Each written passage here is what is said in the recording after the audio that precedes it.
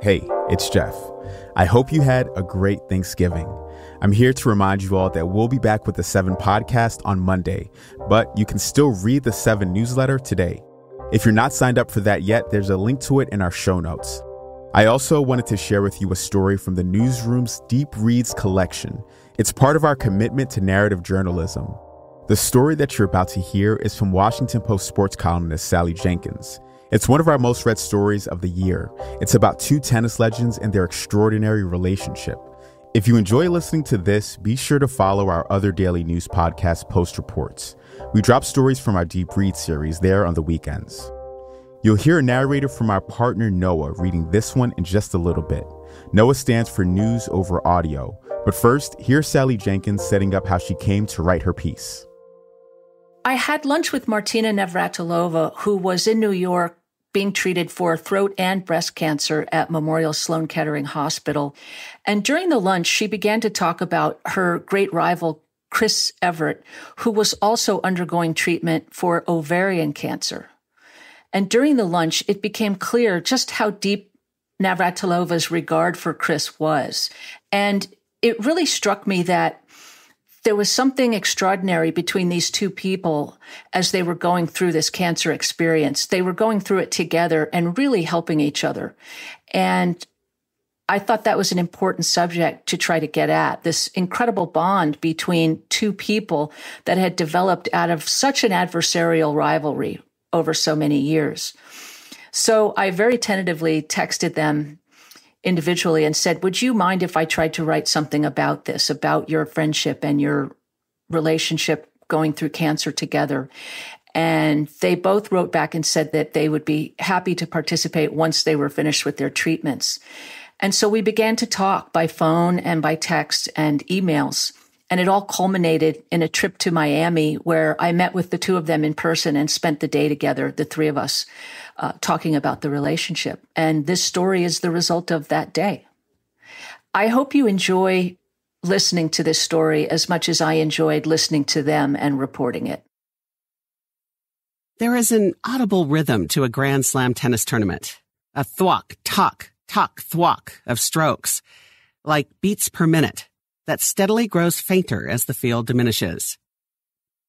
At first, the locker room is a hive of 128 competitors, milling and chattering, but each day their numbers ebb until just two people are left in that confrontational hush known as the final. For so many years, Chris Evert and Martina Navratilova were almost invariably the last two, left alone in a room so empty yet intimate that they could practically hear what was inside the other's chest thwack, talk. They dressed side by side. They waited together, sometimes ate together, and entered the arena together. Then they would play a match that seemed like a personal cross-examination, running each other headlong into emotional confessions, concessions. And afterward, they would return to that small room of two, where they showered and changed, observing with sidelong glances the other's triumphalism or tears, states beyond mere bare skin. No one else could possibly understand it. Except for the other. She knew me better than I knew me, Navratilova says. They have known each other for 50 years now, outlasting most marriages. Aside from blood kin, Navratilova points out, I've known Chris longer than anybody else in my life, and so it is for her. Lately, they have never been closer a fact they refuse to cheapen with sentimentality. It's been up and down, the friendship, Evert says. At the ages of 68 and 66, respectively, Evert and Navratilova have found themselves more intertwined than ever by an unwelcome factor. You want to meet an opponent who draws you nearer in mutual understanding? Try having cancer at the same time. It was like, are you kidding me? Evert says. The shape of the relationship is an hourglass. They first met as teenagers in 1973, became friends, and then split apart as each rose to number one in the world at the direct expense of the other. They contested 80 matches, 60 of them finals, riveting for their contrasts in tactics and temperament. After a 15 year rivalry, they somehow reached a perfect equipoise of 18 Grand Slam victories each.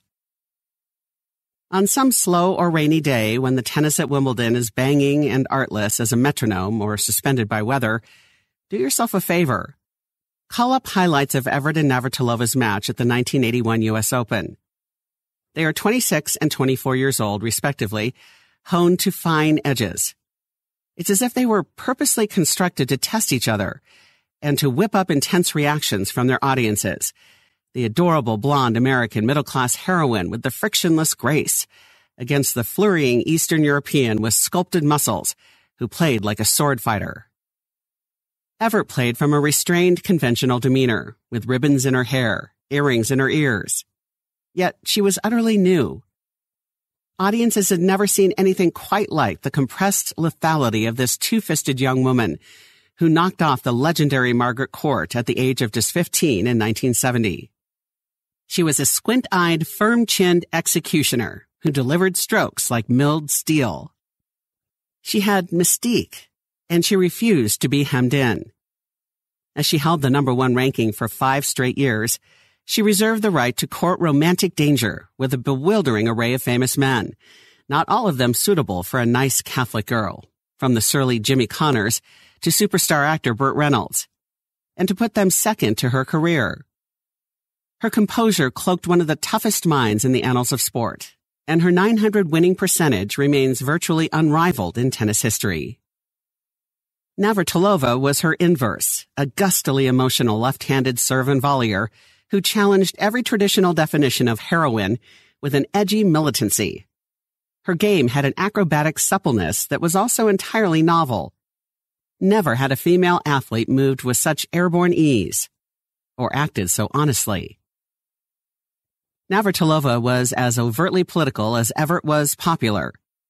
Her defection from communist Czechoslovakia in 1975 was an act of unimaginable bravery, and her struggle to win acceptance from Western crowds was compounded by her defiant inability to censor herself or mask her homosexuality. Advised to put a man in her box at Wimbledon, she refused. Once, when asked whether she was openly gay, she shot back, as opposed to closedly? More prideful generations can't comprehend how in the vanguard Navratilova was when she came out in 1981, or the price she paid in lost endorsements. The New York Times that year announced that homosexuality was the most sensitive issue in the sports marketplace, more delicate than drugs, more controversial than violence. Male sports writers fixated on the veins in her arms. Newsweek veered out of its way to accuse her of accentuating some lifestyle manifesto. She repaid them all by becoming the first female athlete to win a million dollars in prize money in a single year. Small wonder Evert and Navratilova's matches seemed like such colossal encounters. As they competed, the TV cameras zeroed in on their faces and found Mother of Dragons expressions, a willingness to play to ashes. That too was new. It once had been considered unnatural for a woman to contend with such unembarrassed intensity. As Evert's own agent said in 1981, female sports stars were expected to be ladylike and not too greedy in their negotiations, while their male counterparts could win every nickel and feel quite comfortable about it. Not anymore. Evert and Navratilova had established their common right to go to the ends of the earth, the absolute ends of the earth, to achieve something, Evert says. By the time Evert and Navratilova retired from singles play in 1989 and 1994 respectively, they had reached a mutual understanding. Not only were they level with an equal number of major titles, but the rivalry was so transcendent it had become a kind of joint accomplishment. After their retirements, they followed strangely similar courses. They were neighbors in Aspen, Colorado and Florida, at times living just minutes from each other. Evert's longtime base is Boca Raton, while Navratilova has a home in Miami Beach, as well as a small farm just up the road in Evert's birthplace of Fort Lauderdale, where she keeps a multitude of chickens. She brings me eggs, Evert says. Each eventually went into tennis broadcasting, which meant they continued to meet at Grand Slam fortnights. Our lives are so parallel, it's eerie when you think about it, Navratilova says.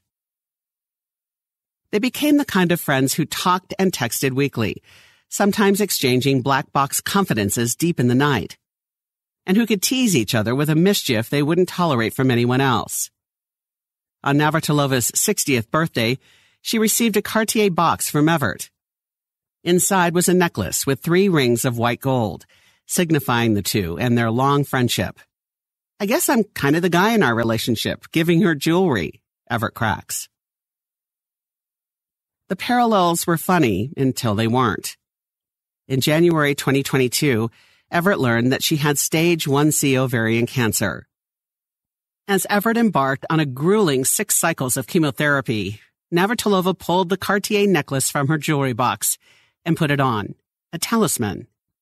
I wore it all the time when I wanted her to get well, Navratilova says. For months, she never took it off. Only one thing made her remove it radiation. In December 2022, Navratilova received her own diagnosis. She had not one, but two early stage cancers in her throat and breast. I finally had to take it off when I got zapped, Navratilova says.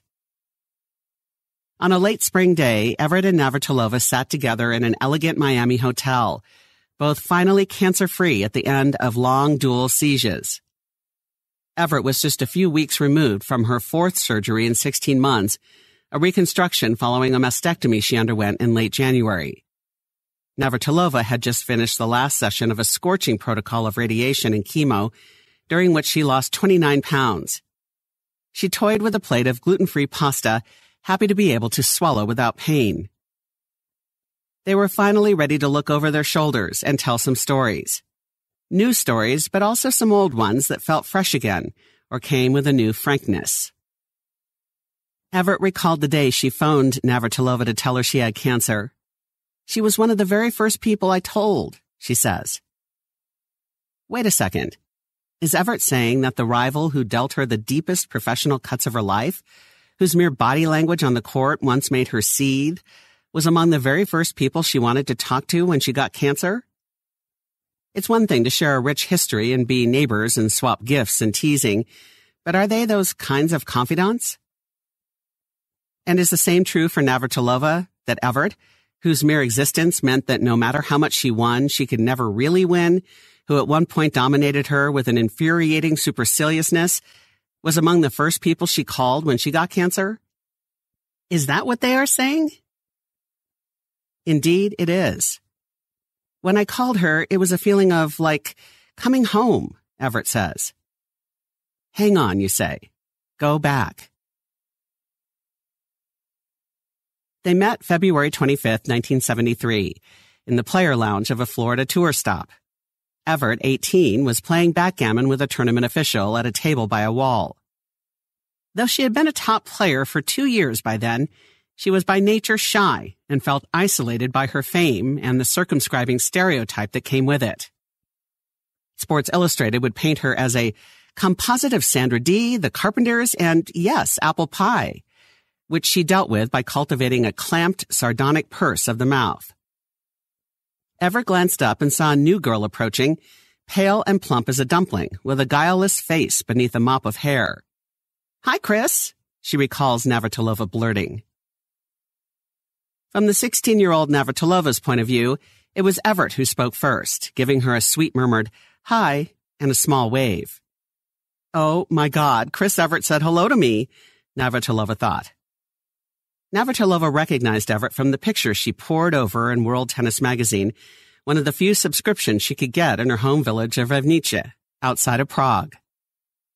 Let's stipulate that the greetings were simultaneous, the reflexive reactions of two girls who were the antithetical of mean, more sensitive than their other competitors ever realized. Both always underestimated in our empathy, as Navratilova says and who had the mutual desire to break the taboo of competition, as Evert once called it, that inhibited so many girls. Later in the tournament, Evert spotted Navratilova again. Picture this, Evert says. Navratilova was walking straight through the grounds in a one-piece bathing suit and flip-flops, oblivious to stares at her crisscrossing tan lines. It was Navratilova's first trip to the United States, she was granted an eight week leave by the communist Czechoslovakian government to try her game against the Western elites, and she was determined to luxuriate in it. She's got guts, Evert thought. Their first match a month later in Akron, Ohio on March 22, 1973, is crystal to them both a half century later. Though Evert won in straight sets, Navratilova pushed her to 7-6 in the first. 5-4 in the tiebreaker, Navratilova says instantly, as soon as it's mentioned, bristling, and I actually had a set point.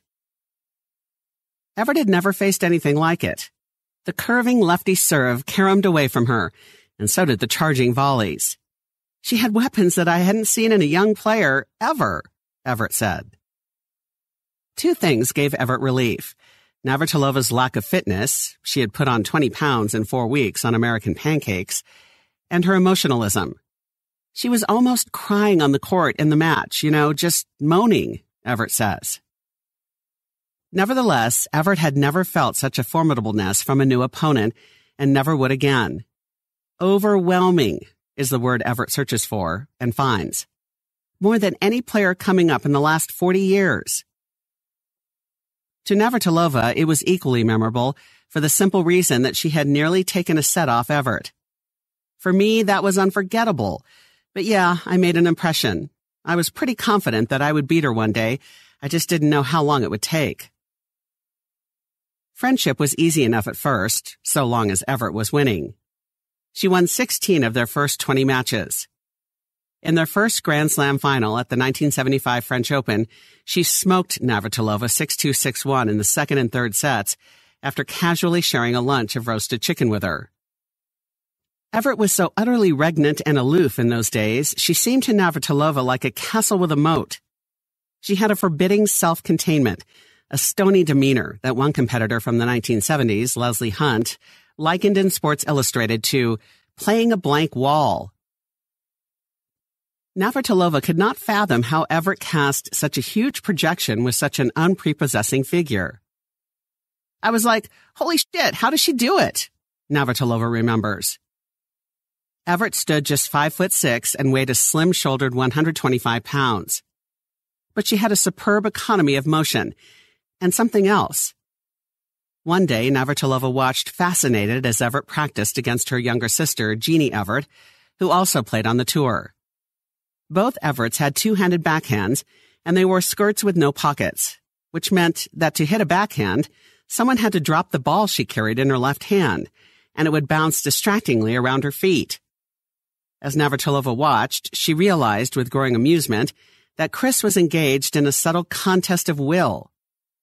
It was kind of a mental fight, Navratilova recalls. Who was going to hit the first ball? Because whoever didn't hit first would have to drop their ball. Chris never missed the chance to hit first. It was a small thing, but it took a steely determination, Navratilova says, and she never missed. It registered. By the end of session, Navratilova understood that Evert's greatest weapon was her brain.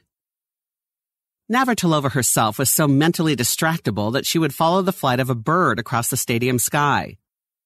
Her thoughts and feelings seemed to blow straight through her, unfiltered. Evert could not help but be disarmed by this open-hearted, unconstrained young woman who seemed hungry to experience everything. Pancakes, pool time, freedom, friendship, fast cars. Evert's urge to befriend Navratilova won out over her reserve. Evert invited her to be her doubles partner and even took her on a double date with Dean Martin Jr., son of the entertainer, and Desi Arnaz Jr., Martin's actor friend and pop band collaborator. The teen idols squired Evert and Navratilova to a drive-in movie. Evert and Navratilova traveled together, practiced together, even brunched before they met in finals. I was a tough nut to crack, Evert observes, but she was so innocent and almost vulnerable when she was young I trusted being safe with her. Over dinners and glasses of wine, Navratilova discovered the mutinous side of Evert, which expressed itself with an unsuspected saltiness. Evert delighted in telling Navratilova scandalously dirty jokes. The outward banality of the girl hurling herself off the pedestal compounded Navratilova's outbursts of laughter. The curtain would fall, Navratilova says, and the funny Chris came out. The filter was gone. The walls were gone. And that's when I realized she just kept the cards close to her chest. But she was so mischievous underneath it all. By 1976, however, Navratilova began to score more victories over Evert. In that year's Wimbledon semifinals, it was all Evert could do to hold her off. 6-3, 4-6, 6-4. I was nipping at her heels, Navratilova says. I was becoming a threat. That is when all the trouble started, and they entered the narrowest part of the hourglass. Evert believed she had gotten too close to Navratilova. She broke up their doubles partnership. She ditched me, Navratilova says. Evert did it politely, telling Navratilova she would have to find another partner because she wanted to focus on her singles. But it stung, and Navratilova knew the real reason. Chris, by her own admission, could only be close friends with people who never had a chance of beating her, Navratilova says. Evert hated to play someone she cared about. Hated it. I thought, God, I can't be emotional towards these people, Evert says now. It was easier not to even know them. Evert's on-court demeanor was a facade, developed to please her father and coach, Jimmy Evert, a renowned teaching pro at the public Holiday Park in Fort Lauderdale. Jimmy was a man of such rigor and unbending rectitude that he refused to raise his $6 hourly fee for lessons because of his daughter's success. But he was not right about everything. He demanded that Chris commit to tennis at the exclusion of all else. Friends were incompatible with rivals, he told her. I was raised in a house that did not encourage relationships, she says. And he brooked no dissent. It was a fearful sort of upbringing, she adds. The result was a young woman who, beneath her stoicism, roiled with insecurity and anxiety. Navratilova observes that, in its way, Evert's childhood was as stifling as her own had been in Czechoslovakia. We are much more the same than different, really, she says. So much of it was imposed on both of us, one way or the other, with her Catholic proper girl upbringing and me being suppressed by communism. Evert convinced herself that she and Navratilova had become too familiar with each other and that it cost her an edge. So, I separated myself from her, Evert says. It was bad timing for Navratilova, who was feeling doubly cut off. A year earlier, she had defected. Czech authorities had increasingly expressed the ominous sentiment that Navratilova was getting too Americanized, partly thanks to her budding friendship with Evert, and she feared they were about to choke off her career. Navratilova struggled with homesickness, concern for her family, whom she would not see for almost five years. Mastering a new language, she studied English by watching I Love Lucy reruns, and the stress of hiding her homosexuality. As she related in her autobiography, by the time Evert ditched her at the U.S. Open, I was a walking candidate for a nervous breakdown. She lost in the opening round to a grossly inferior player, Janet Newberry, and dissolved into sobs on national television. But Navratilova emerged from the catharsis a firmer character. She watched with a mounting, gnawing dissatisfaction as Evert dominated the Grand Slams, challenged only by Evonne Goolagong. At one point, Navratilova heard Evert talk in an interview about how her rivalry with Goolagong was defining her. Navratilova bridled at the statement. I remember thinking, what about me? Navratilova recalls. When it finally came, Navratilova's breakthrough and the role reversal was breath snatching. By 1981, she had developed some armor. Training with Nancy Lieberman, the former basketball great, she dropped her body fat to 8%. Lieberman told her she had to get mean about Evert and showed what she meant by being intentionally rude to Evert in player lounges. Evert would start to greet them, and Lieberman would turn her back or say frostily, Are you talking to me? It quietly infuriated Evert. They weren't very nice to me, Evert says. I mean, Nancy taught her to hate me. From 1982 to 1984, it was Navratilova's turn to be cold. She reached 10 Grand Slam finals and won eight of them. In that stretch, she beat Evert 14 straight times with an abbreviating serve and volley power that seemed almost dismissive. She was in the way of me getting to number one, Navratilova says. So I kind of created that distance. She was my carrot when I was training. You know, I would imagine beating Chris. She became the villain, even though she really wasn't. Evert struggled not to lose heart, especially when Navratilova beat her by 6-1-6-3 in the 1983 U.S. Open. It was not a good feeling to know that I wasn't even in the game, Evert says. About to turn 30, she had fallen behind in a variety of ways, from her fitness to the fact that Navratilova was using a graphite racket while she still used wood. She was also trying to sort her personal life and separated from her husband of five years, British player John Lloyd. Navratilova paraded her triumph by whipping around in a white Rolls Royce convertible, one of six cars in her garage. She won so much that by 1984 it made her generous again. She now trained with a more amiable tennis tactician named Mike Estep, and her partner Judy Nelson, a former Texas beauty contestant, liked Evert and worked to repair the relationship.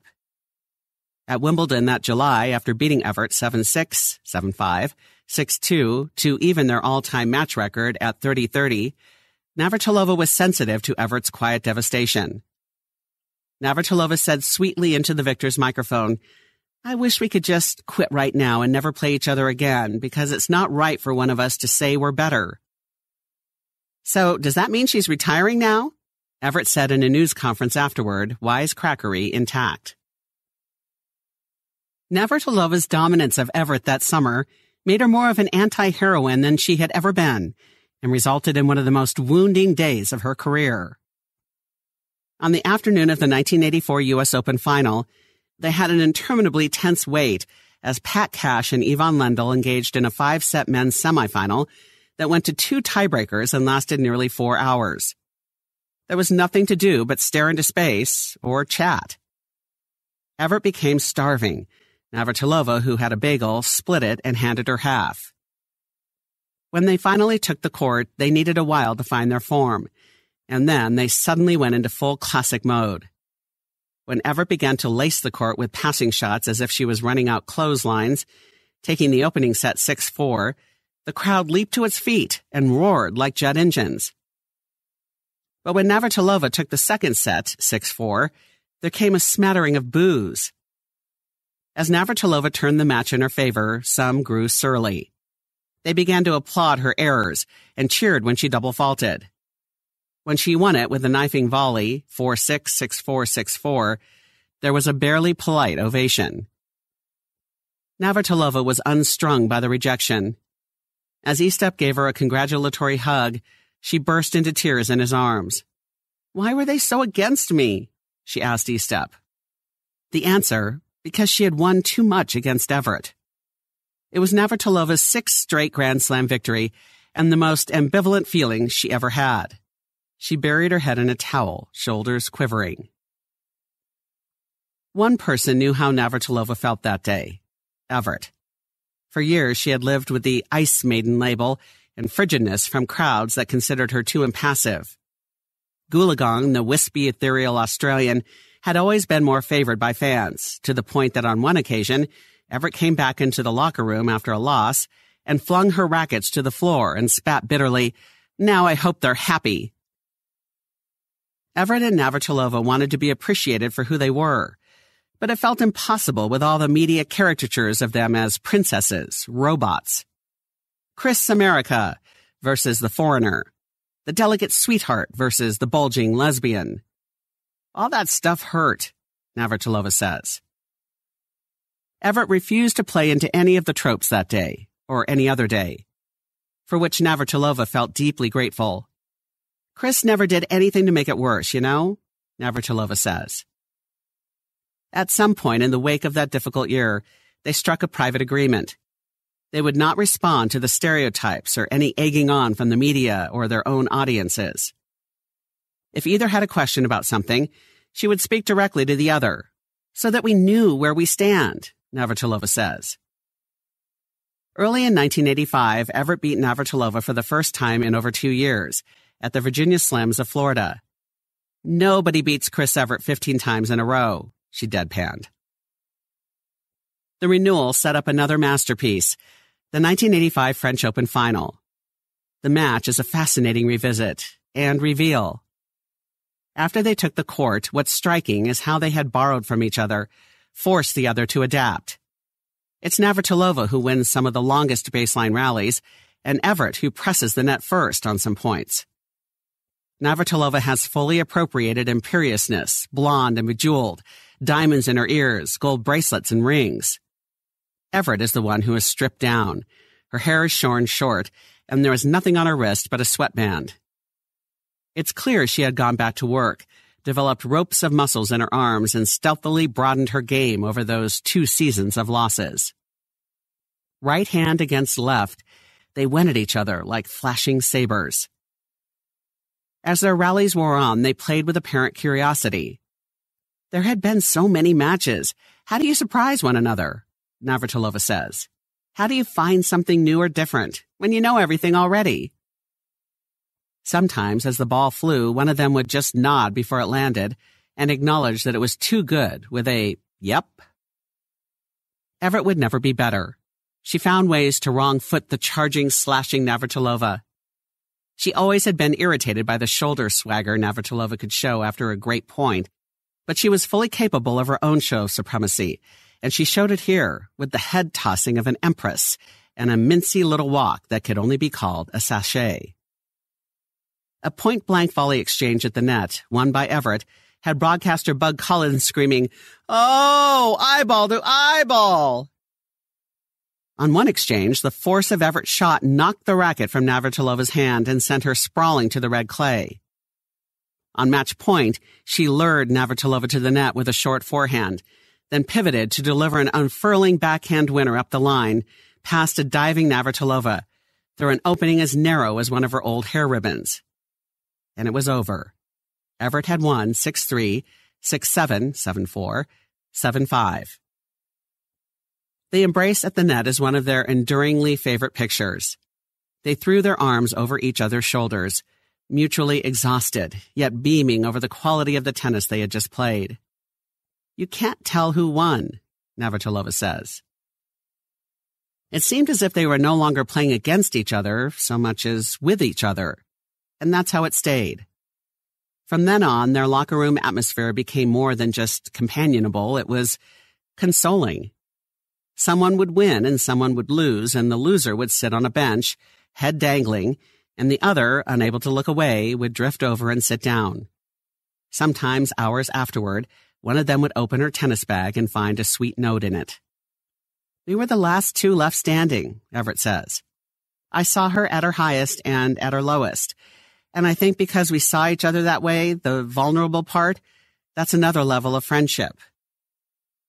In 1986, Navratilova was scheduled to return to Czechoslovakia for the first time since her defection to play a match for the U.S. Federation Cup team. Will you come? she asked Evert. I don't know how they'll treat me. Evert was nursing a knee injury, but she went. Navratilova was overjoyed to be teammates for a change. We could be happy at the same time for once, she says. Evert was rewarded with an extraordinary experience. She watched her friend get a standing ovation from crowds standing three deep while Czech officials stared at their shoes. At Evert's final Wimbledon in 1989, one more remarkable scene played out between them. Evert by then was flagging, her intensity worn thin. In the quarterfinals, she was in danger of an undignified loss to unseeded 87th ranked Laura Golarsa. She trailed 5-2 in the third set, just two points from defeat. This isn't how I want to go out, she thought grimly. Navratilova, watching on TV in the player lounge, stood up and dashed out to courtside. She took a seat in the grandstand. Come on, Chrissy, Navratilova's voice rang out. Evert had just a moment to feel moved touched. Just then, Golarsa delivered a volley. On a dead run, Evert chased it. Stretched out, pulled nearly into the stands, her backhand fully extended, Evert drove a screaming pass down the alley that curled around the net post and checked the opposite corner. A clean winner. Navratilova shrieked with the thrill of it like a little girl. Evert swept the rest of the set and won at 7-5, arguably the most astonishing comeback of her life. She's got my back, Evert says now. I've got hers. Friendship is arguably the most wholly voluntary relationship. It reflects a mutual decision to keep pasting something back together, no matter how far it gets pulled apart, even when there is no obligatory reason, no justice of the peace vow or chromosomal tie. Evert and Navratilova just kept finding reasons to hang on to the relationship. To the point that they became hilariously entangled in each other's personal affairs. It's a fact that Navratilova set up Evert with the man who remains the most important one in her life, Andy Mill. Toward the close of Evert's playing career, Navratilova knew Evert was lonely and depressed after her divorce from Lloyd, which caused Jimmy Evert to briefly stop speaking to his daughter. Navratilova invited Evert to spend Christmas with her in Aspen. She took her skiing and to a New Year's party at the Hotel Jerome, where she knew there would be good looking men in droves. That night, Evert met the impossibly handsome Mill, who the next day gallantly coached Evert down a steep slope, skiing backward and holding her hands. At the end of the week, as Navratilova packed to leave for the Australian Open, Evert appeared in her doorway. Do you mind if I stay on for a few days? Evert asked. Navratilova arched an eyebrow and smiled. Sure. With the house to herself, Evert had her first tryst with Mill, causing the gentleman to exclaim the next morning, My God, I'm with Chris Evert in Martina Navratilova's bed. Evert's 1988 wedding to Mill marked the rare occasion when Navratilova wore a skirt. Years later, Navratilova was still teasing Evert. I should have put that bed on eBay. In 2014, when Navratilova wed longtime partner Julia Lemigova, she did not have to debate whom to choose as maid of honor. Evert was by her side. But of course, Navratilova says.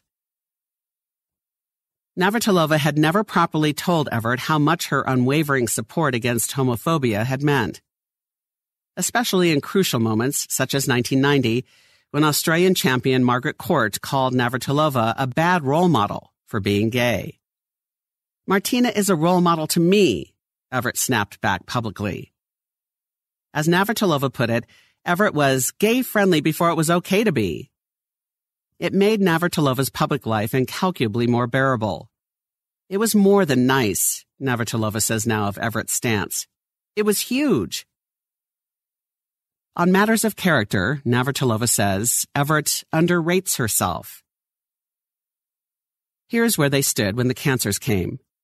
Evert had just finished rearing three adored sons to adulthood and was resolutely single again after a psychological reckoning. Her long emotional containment finally imploded in 2006. She left Mill for former pro golfer Greg Norman.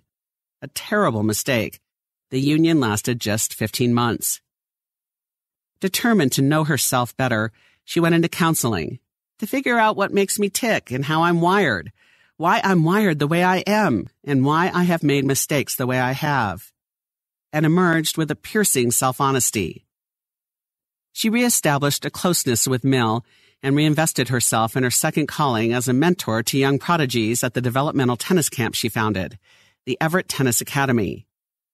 At over 60, she could still go for two hours on a court with women a third her age. Just down the freeway from her, Navratilova had found her anchor with Lemigova, with whom she stepmothered two daughters and cared for an assortment of animals donkeys, goats, dogs, and exotic birds, including a talkative parrot named Pushkin. One of the most broadly read great athletes who ever lived, she absorbed tomes such as Timothy Snyder's account of encroaching fascism, The Road to Unfreedom, with a lightning intelligence that could light up a hillside. In February 2020, a funeral notice appeared in the Fort Lauderdale papers. Mass for Jeannie Evert Dubin would be said at 10 a.m. at St. Anthony's Church. Evert had watched with mounting grief as her precious younger sister fought ovarian cancer until her arms were bruised by needles and ports and she wasted to less than 80 pounds. Sitting in a pew was Navratilova, who would spend the next 12 hours by Evert's side. She attended the graveside services, then sat with Evert and her family at home until 10 that night. Nearly two years after Jeannie's death in November 2021, Evert got a call out of the blue from the Cleveland Clinic. Genetic testing that Jeannie had undergone during her illness had been reappraised with new study, and she had a BRCA1 variant that was pathogenic. The doctor recommended that Evert get tested immediately. The very next day, Evert got a test, and she too was positive for the BRCA1 mutation. Her doctor, Joe Cardenas, recommended an immediate hysterectomy. Evert called Navratilova and told her about the test and that she was scheduled for surgery and further testing. It's preventative, Evert told her reassuringly. On the other end of the phone, she heard Navratilova exhale, oh, a long sigh of inarticulate dismay. In 2010, Navratilova had been diagnosed with a non-invasive breast cancer after making the mistake of going four years without a mammogram. Her cancer was contained, but still. Navratilova wouldn't feel comfortable for Evert until all the tests had come back. The first thing, the very first thing I thought of was, if I'm going to go through these trenches with anybody, Martina would be the person I'd want to go through them with, Evert says because she's strong. She doesn't take any nonsense from people. She just gets the job done. And I think that's the mentality I had. When Evert's pathology report came back after the surgery, however, she felt anything but strong. Surgery revealed high grade malignancy in her fallopian tubes. Evert would have to undergo a second surgery to harvest lymph nodes and test fluid in her stomach cavity to determine what stage she was. Jeannie's cancer had not been discovered until she was stage three. I knew that anything stage three or four, you don't have a good chance, Evert says. For three days, Evert waited for the results with the understanding that they were life or death. Humble moment, Evert says. You know, just because I was number one in the world, it doesn't, I'm just like everyone else. Evert got unfathomably lucky. The cancer hadn't progressed. Had she waited even three more months to be tested, it probably would have spread. As soon as she was able, Evert would go public with her diagnosis to encourage testing. An estimated 25 million people carry a BRCA mutation, and like her, 90% of them have no idea. I had felt fine. I was working out and I had cancer in my body, she says. Evert still had a hard road ahead, with six cycles of chemo, but her chances of recovery were 90%. Her eldest son, Alex, moved in to support her daily care and even designed a workout regimen so she could sweat out the poisons. Mill took her to every chemo treatment and held her hand. Her good friend, Christiane Amanpour, also diagnosed with ovarian cancer, sent her healing ointments from Paris. Her youngest sister, Claire, flew in monthly to nurse her through the sickish after effects even climbing into bed with her. But nothing can really make cancer a collective experience. It's an experiential impasse. Everyone responds differently to the treatment and the accompanying dread. Late at night, Evert would be sleepless from the queasiness and a strange sense of small electric shocks biting into her bones. She would have to slip out of bed and walk around the house, by herself with it. Cancer makes you feel alone, Evert says, because it's like nobody can take that pain from you.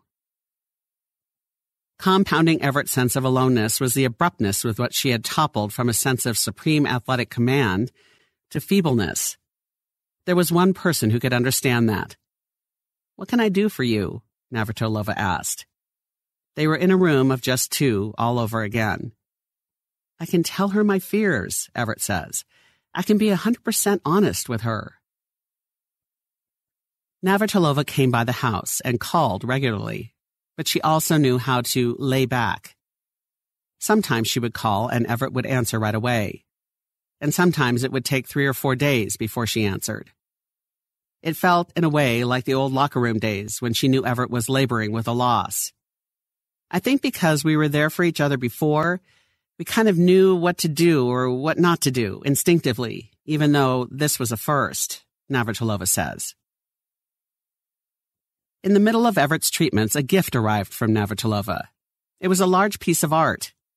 The canvas was lacquered with Evert's favorite playing surface, red clay, and painted with white tennis lines, on which a series of ball marks were embedded, including one that had ticked the white line.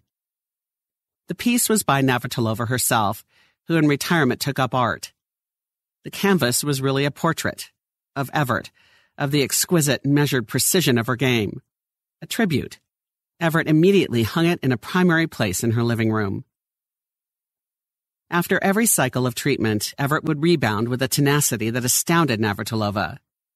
She would plead with her doctors, Can I get on a treadmill? Just days removed from an IV, she would start power walking again or riding her beloved Peloton bike until she was slick with sweat. She even did light CrossFit workouts with weights. She's an animal, Navratilova observes admiringly. By the summer of 2022, Evert was healthy enough to go back to work as a broadcaster, although with a wig. And in November, she joined Navratilova in a public appearance at the season ending WTA finals in Fort Worth. The pair went shopping together for cowboy boots and hats, strolling through the Fort Worth Stockyards historic district. And that's when Evert delivered a piece of news that undid Navratilova. I'm having a double mastectomy, Evert said. She explained that her BRCA mutation meant she was at high risk of developing breast cancer on top of the ovarian. Navratilova was so affected she burst into tears. It was such a shock to me because I thought she was done, she says. And as she retells the story, she weeps again. She had watched Evert go public with her diagnosis and slug her way through chemo, and she hoped she was past it. Now she would face more months of convalescence. I knew what she was going through publicly and privately, Navratilova says, and it just knocked me on my ass.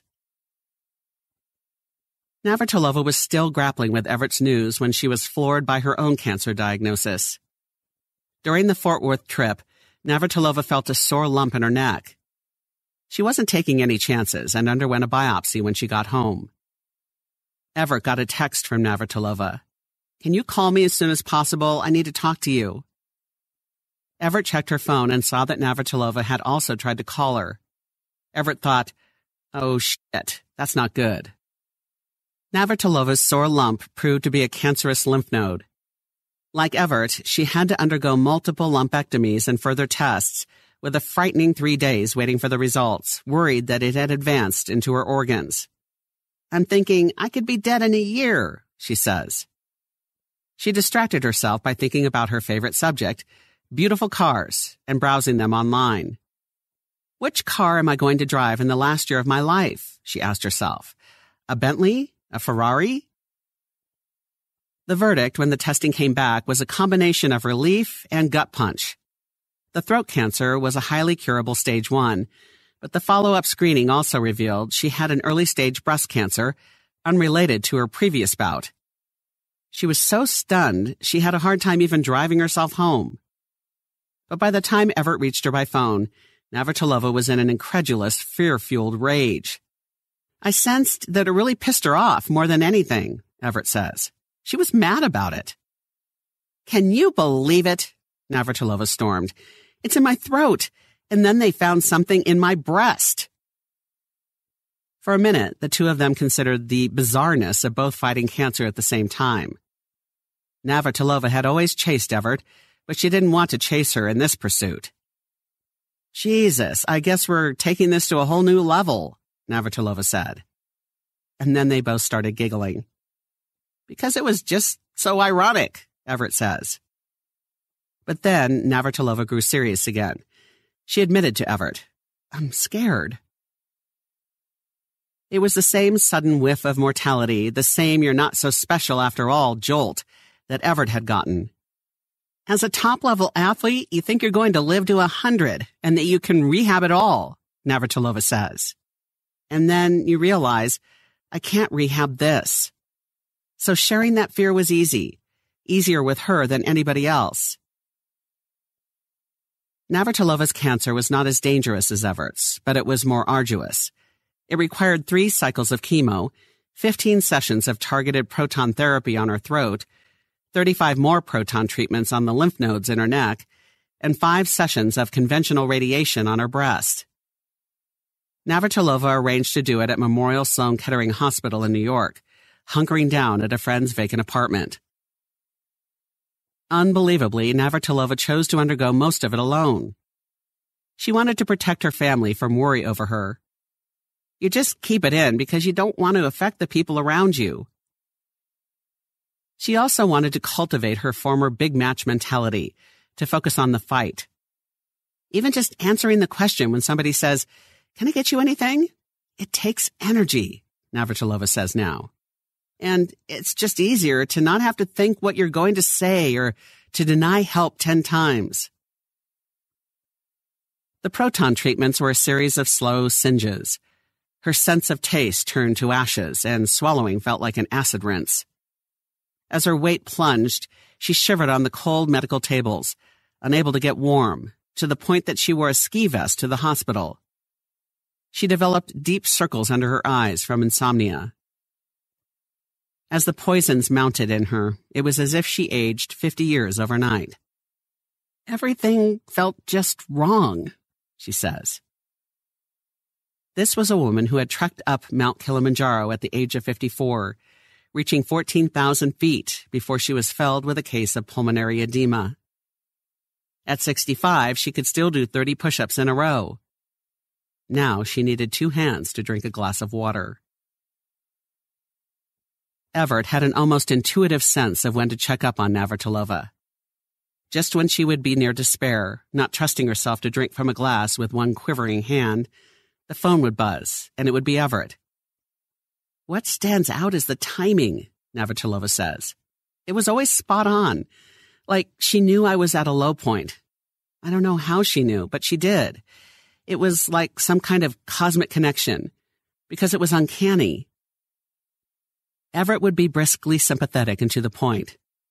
Don't tough it out, she would say. Then just listen. There was no need for question or explanation. There was just understanding. It was always there, Navratilova says. So we didn't have to, like, try to find it.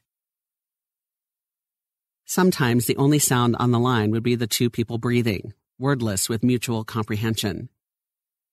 Evert says, with all the experiences we had, winning and losing and comforting each other, I think we ended up having more compassion for each other than anybody in the world could have.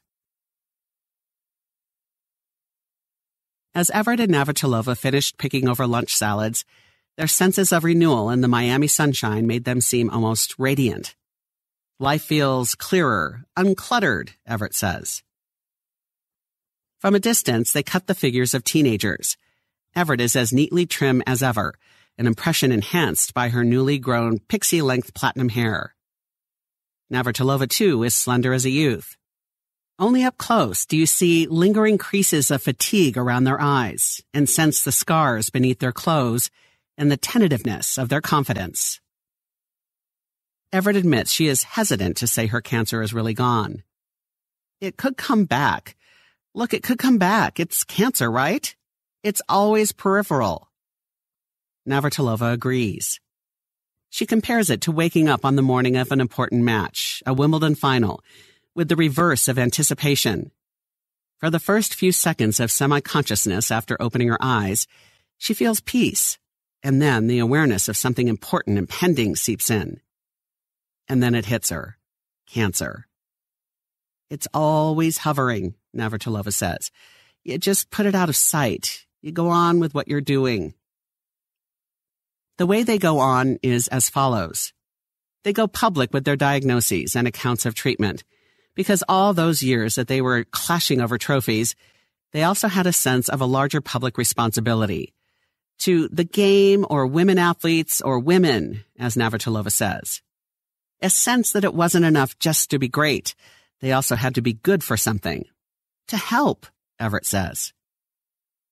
They work out as much as the doctors allow, maybe even a little more than they advise, at first provisionally and then with growing defiance, even though each of their bodies is still fighting the crap that's inside it, as Navratilova says in her case, doing just two push ups and going skiing before her radiation was done.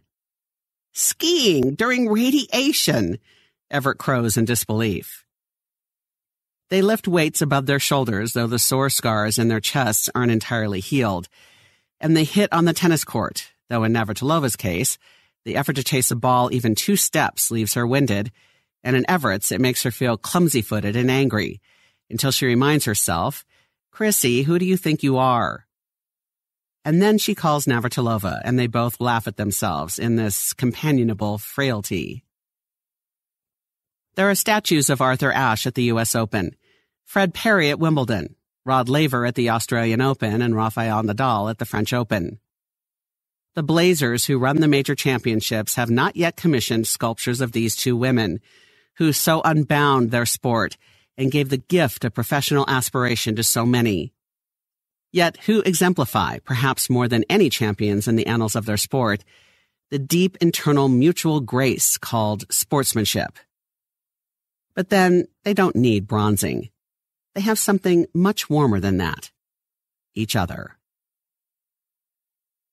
You are listening to The Washington Post, where Sally Jenkins writes, Bitter rivals, beloved friends, survivors. This article was published on the 2nd of July, 2023, and was read by Adrian Walker for Noa.